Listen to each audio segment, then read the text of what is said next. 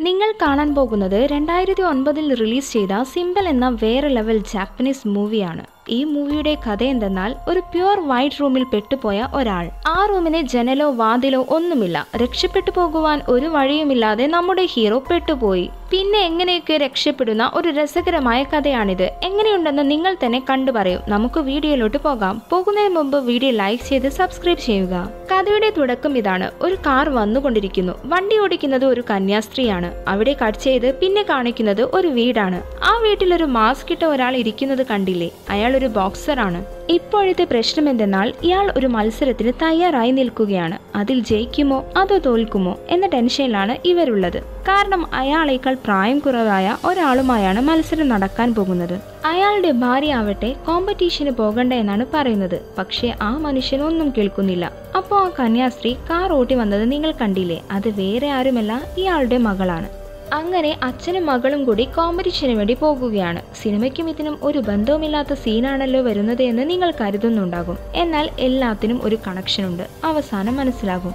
ആ scene cut ചെയ്ത് പിന്നെ കാണിക്കുന്നത് നമ്മുടെ ഹീറോയെയാണ്. ആൾ നല്ല ഉറക്കത്തിലാണ്. കണ്ണു തുറന്നപ്പോൾ ഒരു വലിയ വൈറ്റ് റൂമിലാണ് കിടക്കുന്നതെന്ന് മനസ്സിലായി. ഒരു ജനലോ വാതിലോ ഒന്നുമില്ല. എങ്ങനെയാണ് ഞാൻ ഇവിടെ എത്തിയതെന്ന് ആലോചിച്ച് ചുറ്റും നോക്കിയപ്പോഴുണ്ട് ഒരു ബട്ടൺ കാണുന്നു. അതമർത്തിയപ്പോൾ കുറെ മാലാക കുഞ്ഞുങ്ങൾ ചുമരിൽ പ്രത്യക്ഷപ്പെട്ടു. അപ്പോൾ തന്നെ അവയെല്ലാം അപ്രത്യക്ഷമായി. കുഞ്ഞുങ്ങൾക്കു പകരം ആയിരക്കണക്കിന് ബട്ടൺസ് ആണ് അവിടെ വന്നത്. നമ്മുടെ ഹീറോ ആകെ പേടിച്ച് അലറി വിളിച്ചു. എന്നെ വെച്ച് വല്ല പരീക്ഷണം നടത്താണോ എന്നും പറഞ്ഞ് തുറന്നു വിടാൻ ആ പാവം കരഞ്ഞുകൊണ്ട് പറഞ്ഞു. പുറത്തു പോകാൻ ഈ ബട്ടൺ സഹായിക്കുമെന്ന് കരുതി ഒരു ബട്ടൺ അമർത്തി നോക്കി. അപ്പോൾ ഒരു ബ്രഷാണ് അവന് കിട്ടിയത്. അതുപോലെ വേറൊരു ബട്ടൺ അമർത്തിയപ്പോൾ ഒരു അനൗൺസ്മെന്റ് ചെയ്യുന്ന മൈക്ക് കൂടെ കിട്ടി. അത് കണ്ടപ്പോൾ നമ്മുടെ ഹീറോക്ക് ദേഷ്യം കൂടി. പിന്നെ അടുത്ത ബട്ടൺ അമർത്തി. അപ്പോഴുണ്ട് ഒരു ചെടിച്ചട്ടി വരുന്നു.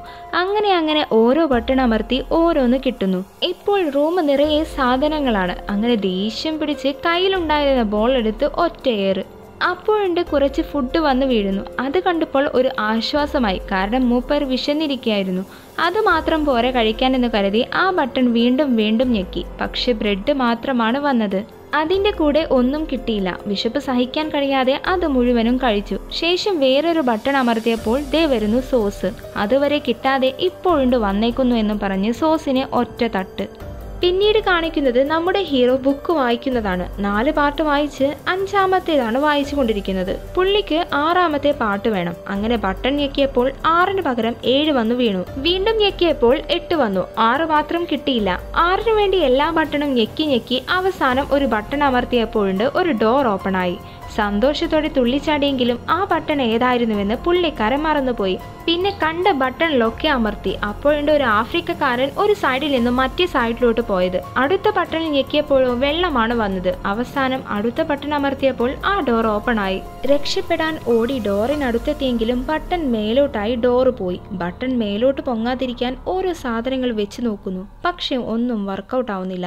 അങ്ങനെയാണ് ആ വെയ്സ് ഓർമ്മ വന്നത്. അത് കൊണ്ടുപോയി ആ ബട്ടണിന്റെ മുകളിൽ വെച്ചു അങ്ങനെ വിട്ടാൽ ശരിയാവില്ല എന്ന് കരുതി പുള്ളിക്കാരൻ ആലോചിച്ചപ്പോഴാണ് വെള്ളം അതിൽ നിറച്ചാൽ വെയിറ്റ് കൂടുമല്ലോ എന്ന് ചിന്തിച്ചത്. പക്ഷേ അതും നടന്നില്ല. നമ്മുടെ ഹീറോയുടെ തലയ്ക്ക് മുകളിലെ വെള്ളം വരുന്നുള്ളൂ. എന്നാൽ പുള്ളി പല രീതിയിൽ നിന്ന് വെള്ളം ആ വേസിലോട്ട് നിറയ്ക്കാൻ നോക്കി. പക്ഷേ അതും പരാജയപ്പെട്ടു. വെള്ളത്തിന് പകരം അടുത്തത് ബ്രെഡാണ് അതിൽ നിറയ്ക്കാൻ നോക്കിയത്. പക്ഷേ ബ്രെഡ് ഇട്ട് ഇട്ട് അതിന്റെ വെയിറ്റ് അവന് താങ്ങാനും പറ്റുന്നില്ല. കൈയിട്ട് എടുക്കാൻ നോക്കിയപ്പോൾ കൈ താഴോട്ട് പോയതുമില്ല. അവസാനം സ്റ്റിക്ക് ഉപയോഗിച്ച് ഓരോന്നായി എടുത്ത് വെയിറ്റ് ഒന്ന് കുറച്ചു. മെല്ലെ മെല്ലെ അതും പൊക്കി ബട്ടണിനടുത്തേക്ക് വന്നു. എന്നാൽ പിന്നെയും ആ പൊട്ടൻ ശരിക്കുമുള്ള ഡോറിന്റെ ബട്ടൺ മറന്നുപോയിരുന്നു സംശയത്തോടെ ഒരു ബട്ടൺ അമർത്തിയപ്പോൾ ദാ വരുന്നു ആ ആഫ്രിക്കൻ. നേരെ വന്ന് ആ വേസിനിട്ട് ഒരു തട്ട്. അത് പകുതിയായി പൊളിഞ്ഞു. അടുത്ത ഐഡിയ ഒരു ടാപ്പ് ആയിരുന്നു. ആ ടാപ്പ് ആ ബട്ടണിന്മേൽ ഒട്ടിച്ചു വെച്ചു. എന്നിട്ടും അത് നിന്നില്ല. പിന്നെ ഒരു ഷീറ്റ് വെച്ച് അതിന്മേൽ ടാപ്പ് വെച്ച് ഒട്ടിച്ചു. എന്നിട്ട് അതും വർക്കൗട്ട് ആയില്ല. എന്ത് ചെയ്തിട്ടും ഒരു കാര്യവും ഉണ്ടായില്ല അതിനുശേഷം വേറൊരു ബട്ടൺ പ്രസ് ചെയ്തപ്പോൾ ഒരു കയറ് കിട്ടി. അത് കണ്ടപ്പോൾ പുള്ളിക്കാരന് ഒരു ഉഗ്രൻ ഐഡിയ കിട്ടി.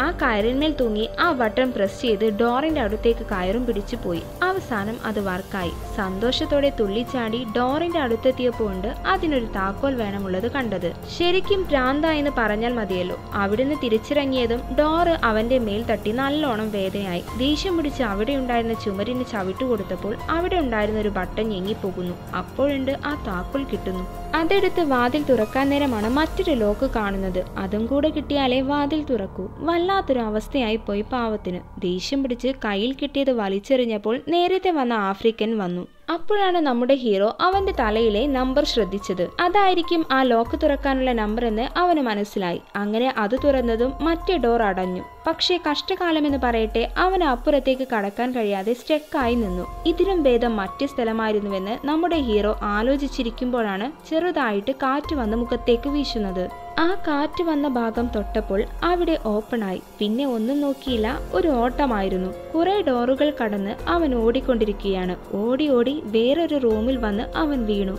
ഇത്തവണ ആ റൂമിൽ നിറയെ കുറച്ച് വലിയ ഏഞ്ചൽസ് ആണ്. നമ്മുടെ ഹീറോയെ നോക്കി ചിരിച്ച് അവയെല്ലാം അപ്രത്യക്ഷമായി. അവയ്ക്ക് പകരം മുഴുവനും ബട്ടൺസ് വന്നു. ഇപ്പുറത്ത് നല്ല മത്സരം നടക്കുകയാണ്. പരസ്പരം നല്ല തല്ല്. ഇവിടെ നമ്മുടെ ഹീറോ ഒരു പട്ടണം അമർത്താൻ പോകുകയാണ്. അത് പ്രസ് ചെയ്തതും നമ്മുടെ മുഖം മൂടിയിട്ട ആളുടെ തല നീണ്ടുവന്ന് ഓപ്പണൻ ടീമിലെ രണ്ടുപേരെയും ഇടിച്ച് ശരിയാക്കുന്നു. ഈ മാച്ചിൽ മുഖം മൂടിയിട്ട ആളാണ് ജയിച്ചത്. അവർ നല്ല സന്തോഷത്തിലാണ്. നമ്മുടെ ഹീറോ വീണ്ടും ബട്ടൺ പ്രസ് ചെയ്തപ്പോൾ അവിടെ ഉണ്ടായിരുന്ന എല്ലാവരെയും മുഖം മൂടിയിട്ട ആൾ അടിച്ച് ശരിയാക്കുന്നു. സ്വന്തം മകനെ പോലും തല കൊണ്ട് ഇടിച്ച് നിലത്തിടുന്നു. അവൻ ഓരോ ബട്ടൺ അമർത്തുമ്പോഴും ഓരോന്ന് സംഭവിക്കുകയാണ്. അങ്ങനെ മുകളിലോട്ട് ഈ ബട്ടൺ പിടിച്ച് കയറി നോക്കാമെന്ന് കരുതി ഓരോ ബട്ടൺ പിടിച്ച് മേലോട്ട് കയറി കയറി പോകുന്നു. ഓരോ ബട്ടൺ ഞെക്കുമ്പോഴും ലോകത്ത് പല ഭാഗത്തായി പലതും സംഭവിക്കുന്നുണ്ട്. ഇപ്പോൾ ഒരു ബട്ടണും പിടിക്കേണ്ട ആവശ്യമില്ല. ഹീറോയുടെ പ്രായവും കൂടി കൂടി വന്നിട്ടുണ്ട്. ഇപ്പോൾ ഒരു ദൈവത്തെ പോലെ അയാൾ മാറിയിരിക്കുന്നു. അവസാനം ആ റൂമിലെത്തിയിരിക്കുന്നു അവിടെ ഒരു ബട്ടൺ മാത്രമുള്ളൂ. ഫ്യൂച്ചർ എന്ന് എഴുതിയിരിക്കുന്ന ഒരു ബട്ടൺ അത് ഞെക്കാൻ പോകുന്നതിലൂടെ കഥ അവസാനിക്കുന്നു.